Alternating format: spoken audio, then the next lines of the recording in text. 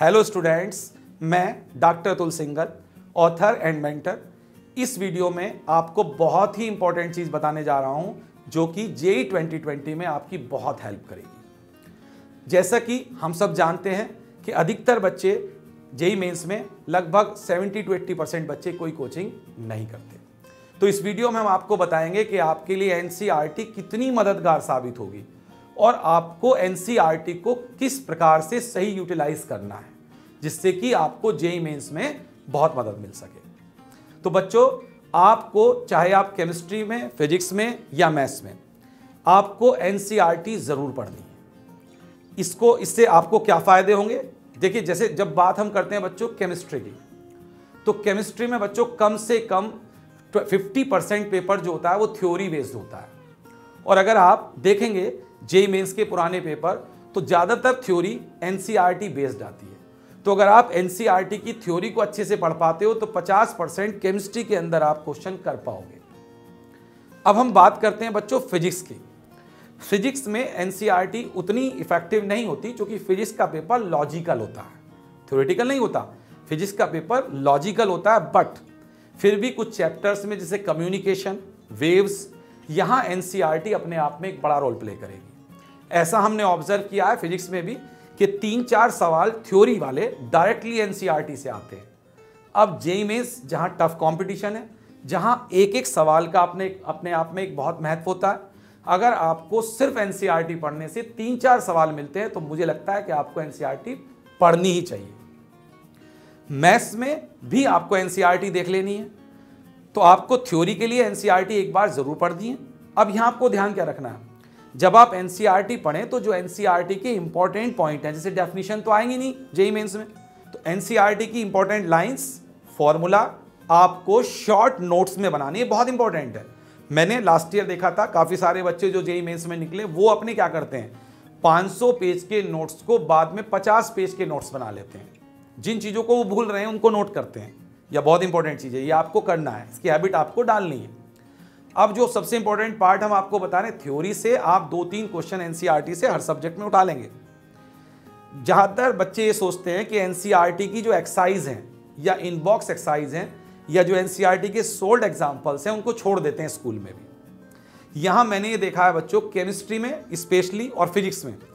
NCERT के solved examples directly नहीं तो इनडायरेक्टली उनके जैसे ही क्वेश्चन ज़रूर आते हैं। हर सब्जेक्ट में you are going to get दो से तीन क्वेश्चन आपको ज़रूर मिलेंगे। तो ये भी आपके लिए बहुत ज़रूरी है कि एनसीईआरटी के सोल्ड एग्जाम्पल्स को इन बॉक्स एक्सरसाइजेस को, और आप जो पीछे टेक्स्ट बुक एक्सरसाइज है एनसीईआरटी के, उनको ज़रूर कवर करें। एनसीईआरटी की टेक्स्ट बुक एक्सरसाइज से भी आपको करनी है।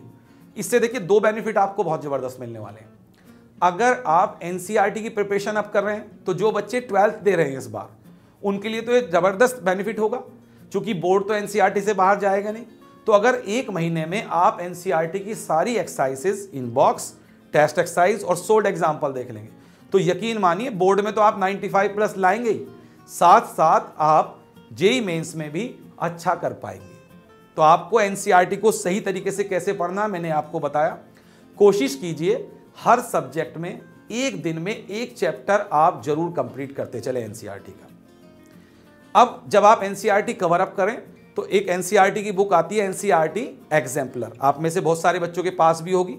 उसमें से काफ़ी सारे डायरेक्ट क्वेश्चन जेई मेन्स में आते हैं बच्चों। तो एनसीईआरटी को आपको बिल्कुल इग्नोर नहीं करना है। एनसीईआरटी की थ्योरी को पढ़ें। उसके इंपॉर्टेंट पॉइंट्स की आप एक अपने शॉर्ट नोट्स में कन्वर्ट करें। इन बॉक्स एक्सरसाइजेस और सोल्ड एक्सरसाइजेस को भी आप ज़रूर देखें अच्छे से। क्योंकि उनसे रिलेटेड क्वेश्चन ज़रूर आते हैं। जैसे मैं आपको एक एग्ज़ाम्पल दे रहा हूँ। 2018 2016 केमिस्ट्री में सॉल्यूशन चैप्टर से डायरेक्ट क्वेश्चन एनसीईआरटी का था, जो जेई मेंस में आया। लास्ट ईयर गैस स्टेट का क्वेश्चन डायरेक्ट एनसीईआरटी से था तो आप एनसीईआरटी को इग्नोर नहीं कर सकते। अगर आप एनसीईआरटी को अच्छे से करके जाएँगे तो आप 60 टू 70 परसेंट पेपर आराम से अटैम्प्ट कर सकते हैं। जब बात आएगी बच्चों लॉजिकल क्वेश्चंस की तो वहाँ यह देखा जाता है कि आपको कंसेप्ट कितने अच्छे से क्लियर हैं। अगर आपके कंसेप्ट क्लियर हैं तो आप लॉजिकल क्वेश्चन कर पाएँगे।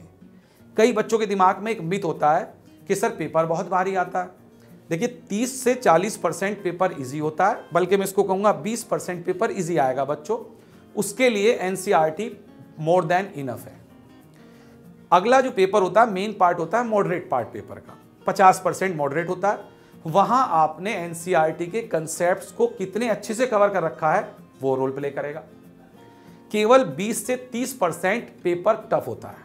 उसके लिए मैं आपको कह रहा हूँ कि एनसीईआरटी के इनबॉक्स एनसीईआरटी के एक्सरसाइजेस और एनसीईआरटी एग्जाम्पलर को आप देख लें, उसमें से भी आप कर पाएँगे। आई होप ये वीडियो आपको बहुत पसंद आया होगा और अगले वीडियो में मैं आपको बताने जा रहा हूँ कि आपको कैसे प्रीवियस ईयर पेपर्स और मॉक टेस्ट का सही ढंग से उपयोग करना है। मुझे उम्मीद है कि इस वीडियो को देखने के बाद आप अच्छे से, अभी से पूरे मन से 30 दिन एनसीईआरटी का यूज़ करके अपनी तैयारी में लग जाओगे।